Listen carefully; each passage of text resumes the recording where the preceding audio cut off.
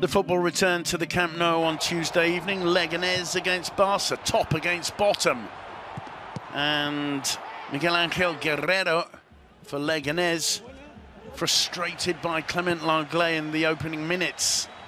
He'd be frustrated by the woodwork just a couple of moments later. Two huge chances for Leganés before the game had uh, hardly got underway. That seemed to uh, spark Barca into a reaction. They began to dominate, and on 42 minutes, Ansu Fati culminated what uh, was a good first half in terms of domination, and especially in terms of the re relationship building up between Junior Firpo, Firpo and Ansu Fati on the left wing. Messi was brought down, a penalty awarded, and on 69 minutes, the little Argentinian made no mistake. That made it 2-0, but Leganés kept fighting. And here, second half substitute Guido Carrillo dragged his shot narrowly wide.